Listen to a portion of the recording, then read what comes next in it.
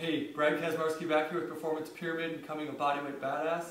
And last time I talked about the performance pyramid and the foundation of the pyramid, and I thought and expressed that the movement screen is probably the best choice for being able to objectively look at where you, what you need to work on, and how you figure out if it's trigger points, how you figure out if it's length or tension, and how to get to motor control, ultimately through the functional movement systems, which is FMS and the SFMA.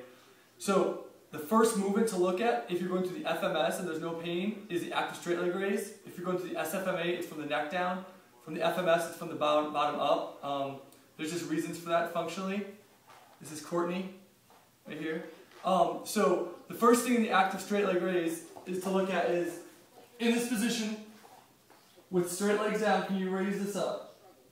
And back down. Up. Back down. So I'm clearly a 3 on that. I'm getting high enough.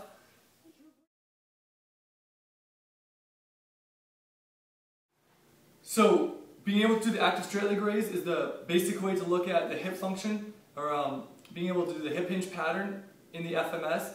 If you want to look at a little bit more of it, we can go through some of the bigger breakouts and uh, at the end I'll put this all back together and explain how to be able to tell if it's length or tension issue, motor control stability, figure that out. So I'm going to stand up in this position and go to a toe touch. So the first position you chest test is a toe touch, just a standard toe touch.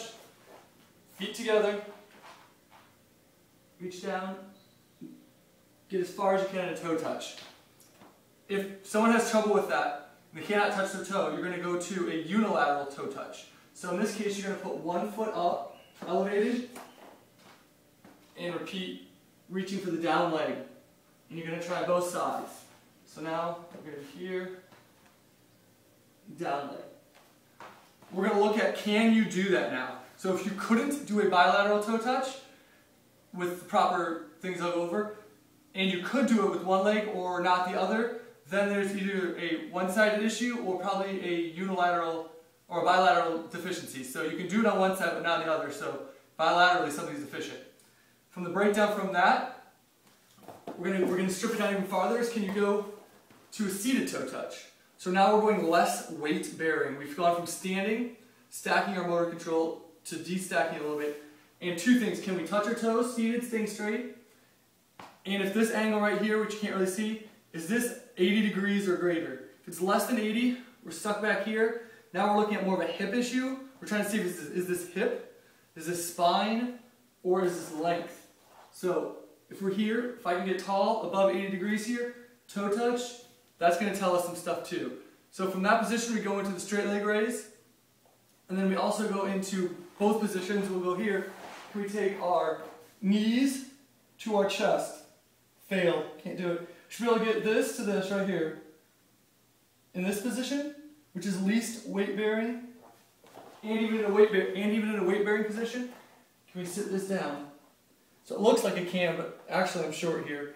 So in this case, for me, even though I can pass the straight leg raise and the toe touch, I have something going on right here, which is impinging my hip that's stopping this flexion pattern. So when I take this into the deadlift pattern or the one leg RDL pattern, this is my issue more than the length. So mine is not a length issue, but someone else maybe, so we're gonna look at it, is that a length? Is that a tension issue? Is that a hip issue? Is that a spine issue? Or is it just a hamstring issue? So I'm gonna talk about that now. All right, now we're back to the board to try to explain what we just did and why. So again, first part of becoming a bodyweight badass is we have to objectively test our movement. And we're choosing to do that through the movement screen. So we did that. In the first pattern we're going to test is the active straight leg raise. That is where I laid on the ground and brought my leg up. For more information on that, go to functionalmovement.com or get the book or any of the info on that, and I'll put more on that as we go. But if you want more info on that, Actually, also, Brett Jones and I just wrote an article on that, so hopefully that'll be out on strengthcoach.com um, and probably Brett Jones's website and functionalmovement.com. So, for, if you can do this and like I did, but you struggle taking that to the hip hinge pattern, that's what that article is about. If you need to now want to break out some more hybrid stuff, I'll give you versions of how to break this out, and I won't get into all the info because that's more the SFMA, but I'll give you as much as I can about how to kind of put that into practice. So the hybrid breakout for the toe touch pattern is doing the toe touch. You pass the toe touch, good. If you don't pass the toe touch, but you can do both sides of the toe touch in the unilateral position, so foot up on block, can touch the left, can touch the right evenly, can't do the toe touch, we have a bilateral hip stability problem. It means our body in that position, motor control wise, can't stabilize it. We have a hip stability issue or motor control problem. If you can do one side and not the other, then you have a unilateral hip dysfunction. One side is causing more of an issue.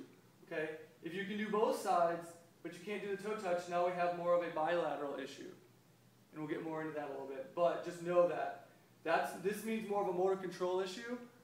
This means more of a, a single side issue, although it could also be motor control. So right here, bilateral touch. Do both of them, but you can't do the toe touch. Weight bearing hip stability. Take that next test then into the seated toe touch.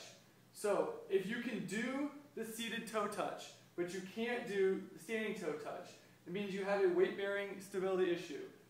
That basically means that your body has the ability to do this, but when you stand it up, something goes off, motor control wise. Just whatever, motor control is a broad term, can't do it. If you have, or if you can't do this, you might have limited hip flexion or limited spine mobility. Further breakouts will kind of tell you that. Limited hip flexion will also be the active straight leg raise test. Taking that into a prone rocking test, that's the, set, the last thing I did where I sat back, feet to butt, can tell you again if it's a limited hip flexion or limited spine mobility. And supine knees to the chest kind of also tells you if it's limited hip issue, okay? So these are some ways to break this down and to tell you you can't touch your, you can't do this test or you can't touch your toes. Where could it be coming from? Is it bilateral or unilateral dysfunction? Is it weight bearing or a limited hip flexion or limited spine mobility? Follow this breakout. It'll take you to where you need to go because you have to be able to move correctly first in the foundation before you can follow the performance pyramid and become a bodyweight badass. So until next time, follow these things and enjoy seeing where it takes you and let me know. Thanks.